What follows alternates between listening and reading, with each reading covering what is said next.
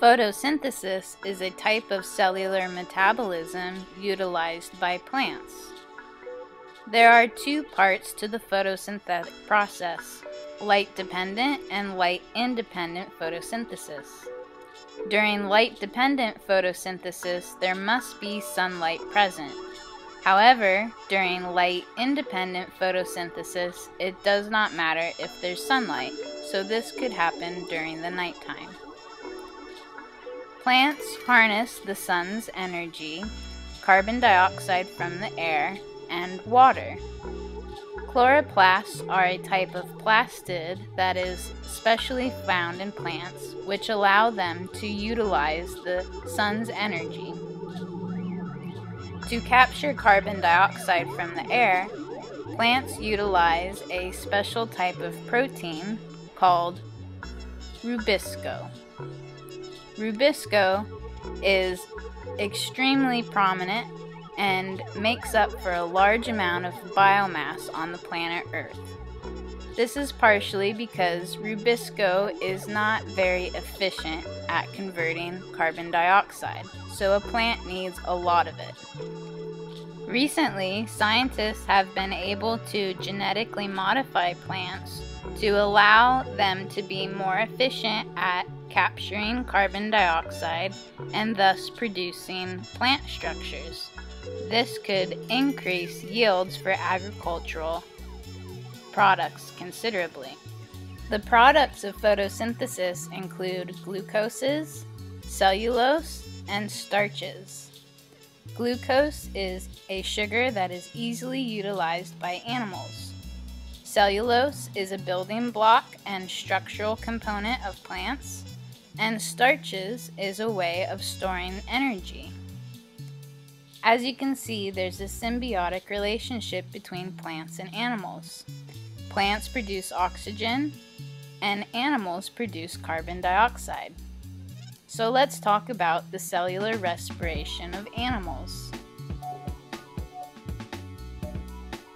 If you take one glucose and six oxygen molecules and use cellular respiration in an aerobic environment, you will produce six carbon dioxide molecules, six water molecules, as well as a little bit of heat and some energy, which we use in ATP or adenosine triphosphate.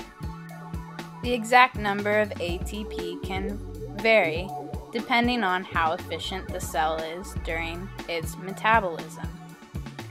If there is no oxygen in the environment, also known as anaerobic metabolism or fermentation, then the products are a little bit different. When you are working out, your muscle cells will begin to be in an anaerobic environment. This is going to produce lactic acid. And this is why your muscles are sore after you've worked out strenuously. The lactic acid has built up in the muscles.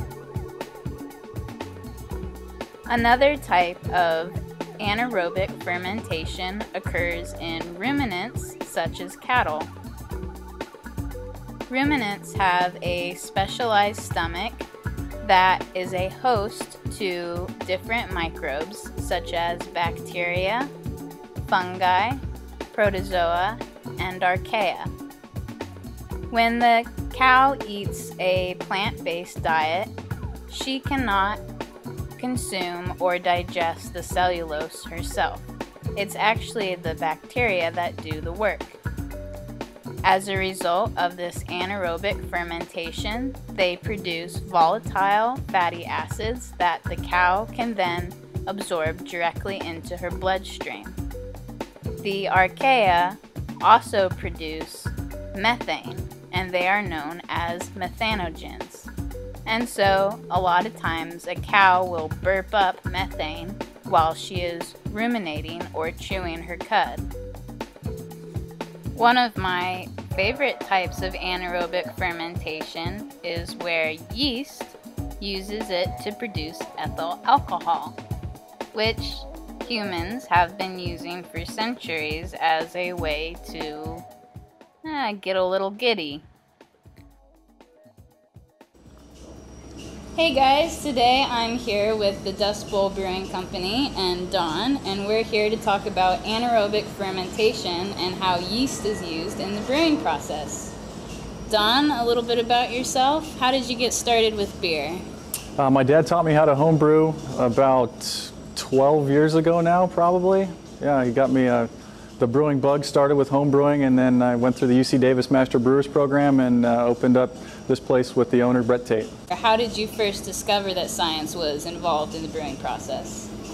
When I started home brewing, uh, I liked the, the creative aspect of it, being able to build something that I, I enjoy myself, but I'm also very analytical, so I like to, to dive into the science of it. And uh, yeast plays a, a huge part in that. What most people don't realize the average consumer focuses on the hops and focuses on the malt, but there are thousands of flavor components that come directly from fermentation and the yeast itself. So do you use a specific type of yeast?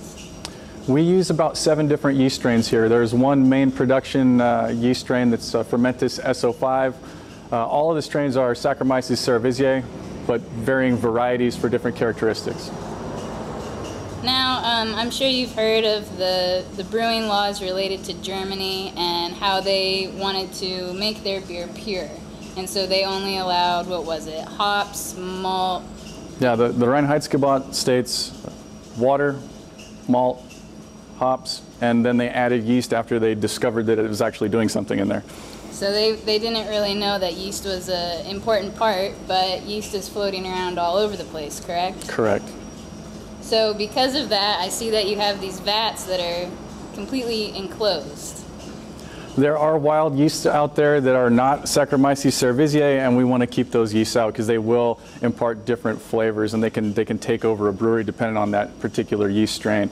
In some region, that is that's beneficial. Uh, in Belgium, there is a, a, yeast strain called Brettanomyces that uh, has a very unique character to it. Um, some people would describe the aroma as horse blanket.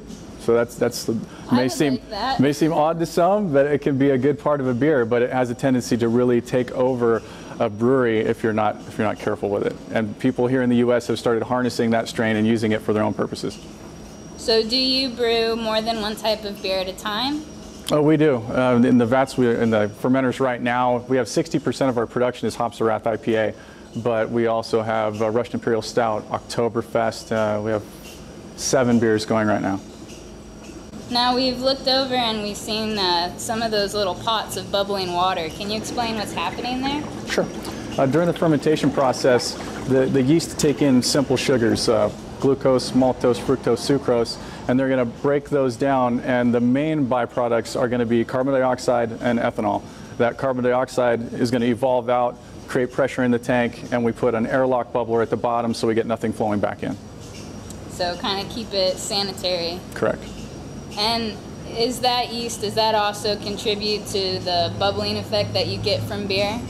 You can harness that carbonation and naturally carbonate if you pressurize the vessel because we do a lot of dry hopping. That's where we add hops into the fermenter. Um, that usually blows off a lot of that CO2 and we have to let it come out, but you can cap the tank up and build that pressure. Yeah.